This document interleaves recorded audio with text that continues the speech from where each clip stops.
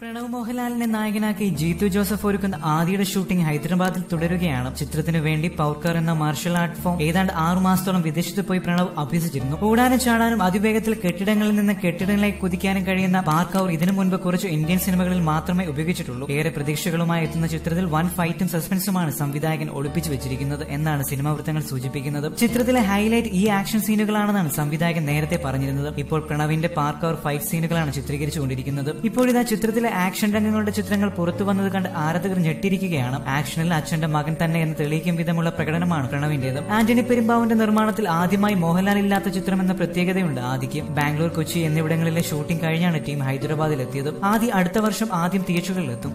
പ്രണവ് മോഹൻലാലിനെ നായകനാക്കി ജീത്തു ജോസഫ് ഒരുക്കുന്ന ആദ്യയുടെ ഷൂട്ടിംഗ് ഹൈദരാബാദിൽ തുടരുകയാണ് ചിത്രത്തിനു വേണ്ടി പൗർക്കർ എന്ന മാർഷൽ ആർട്ട് ഫോം ഏതാണ്ട് ആറു മാസത്തോളം വിദേശത്ത് പോയി പ്രണവ് അഭ്യസിച്ചിരുന്നു ഓടാനും ചാടാനും അതിവേഗത്തിൽ കെട്ടിടങ്ങളിൽ നിന്ന് കെട്ടിടങ്ങളെ കുതിക്കാനും കഴിയുന്ന പാർക്കൌർ ഇതിനു മുൻപ് കുറച്ച് ഇന്ത്യൻ സിനിമകളിൽ മാത്രമേ ഉപയോഗിച്ചിട്ടുള്ളൂ ഏറെ പ്രതീക്ഷകളുമായി എത്തുന്ന ചിത്രത്തിൽ വൺ ഫൈറ്റും സസ്പെൻസുമാണ് സംവിധായകൻ ഒളിപ്പിച്ചു വെച്ചിരിക്കുന്നത് എന്നാണ് സിനിമാ വൃത്തങ്ങൾ സൂചിപ്പിക്കുന്നത് ചിത്രത്തിലെ ഹൈലൈറ്റ് ഈ ആക്ഷൻ സീനുകളാണെന്നാണ് സംവിധായകൻ നേരത്തെ പറഞ്ഞിരുന്നത് ഇപ്പോൾ പ്രണവിന്റെ പാർക്കൌർ ഫൈറ്റ് സീനുകളാണ് ചിത്രീകരിച്ചുകൊണ്ടിരിക്കുന്നത് ഇപ്പോഴിതാ ചിത്രത്തിലെ ചില ആക്ഷൻ രംഗങ്ങളുടെ ചിത്രങ്ങൾ പുറത്തു വന്നത് കണ്ട് ആരാധകർ ഞെട്ടിരിക്കുകയാണ് ആക്ഷനിൽ അച്ഛന്റെ മകൻ തന്നെ എന്ന് തെളിയിക്കും വിധമുള്ള പ്രകടനമാണ് പ്രണവിന്റേതും ആന്റണി പെരുമ്പാവിന്റെ നിർമ്മാണത്തിൽ ആദ്യമായി മോഹൻലാൽ ഇല്ലാത്ത ചിത്രം എന്ന പ്രത്യേകതയുണ്ട് ആദിക്ക് ബാംഗ്ലൂർ കൊച്ചി എന്നിവിടെ